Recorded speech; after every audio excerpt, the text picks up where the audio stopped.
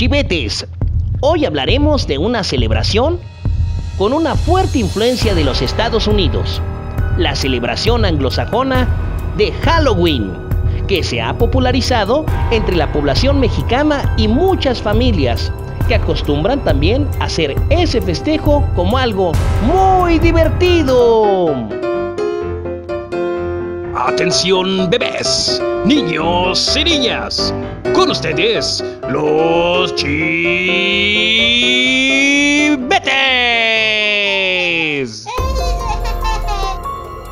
Gael, ¿sabes qué es el Halloween?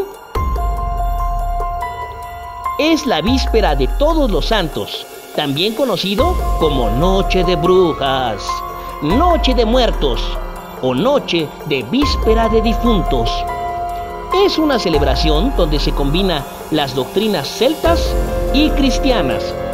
Se celebra internacionalmente en la noche del 31 de octubre. Las familias, amistades, comunidades anglosajones, como Canadá, Estados Unidos, Irlanda o Reino Unido, y en menor medida lugares como España y América, en esa noche es una fecha asociada con los muertos y las almas en pena, las brujas y hechiceros, el terror.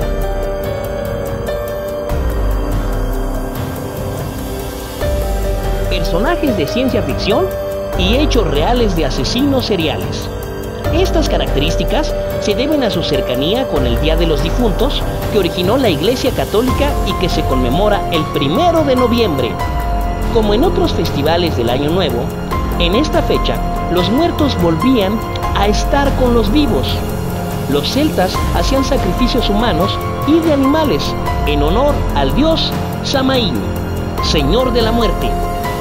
Este día marcó la finalización del verano y de la cosecha de manzana y el comienzo del oscuro y frío invierno.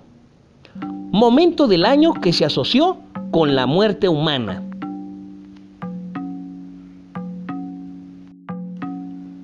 Chivetes. Los celtas creían que la frontera entre los mundos de los vivos y de los muertos se volvía incierta en la noche antes del año nuevo. Era una fiesta de transición el paso de un año a otro, como de apertura al otro mundo. El día se asocia a menudo con los colores naranja, negro y morado.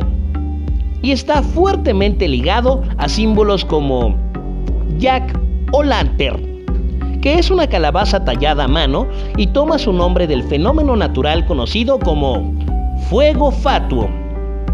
Este festejo es más tradición de Estados Unidos y le dan gran participación a los niños. Y también en algunos países de Hispanoamérica, como en México, se acostumbra a salir por la noche con los niños más pequeños disfrazados a pedir dulces y van cantando. Las actividades típicas de Halloween son el dulce o truco, las fiestas de disfraces,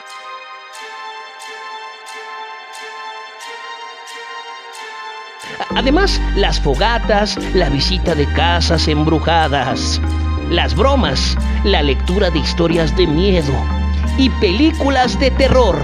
Los personajes más conocidos para disfrazarse son Drácula, Frankenstein, brujas, magos, de zombies, momias y la decoración, telarañas, arañas, murciélagos, telas oscuras y cosas típicas de terror. Chivetes. Durante la ceremonia del 31 de octubre, es una fecha la cual se creía que los espíritus de los muertos regresaban a la tierra y para ahuyentar estos espíritus, los celtas se vestían con cabezas y pieles de animales sacrificados para sacar del pueblo a los demonios que los visitaban y poder regresar la normalidad al día siguiente. Con las cenizas y restos de los sacrificios hacían un rito para conocer el futuro de los siguientes meses. En cambio, los sacerdotes de druidas realizaban sacrificios con fuego para celebrar el día de un modo más cristiano. Asimismo, se celebra el Sabbat o fiesta de brujas, quienes se reunían para ofrecer sacrificios a Satanás, Señor de la muerte. Entonces, el significado de Halloween fue cuando el emperador Constantino decretó que los habitantes de su imperio se convertirían al cristianismo. Muchos ritos paganos se introdujeron. Fue así como el festival de Samaín se infiltró. Chivetes, no olvides suscribirte al canal y dale like.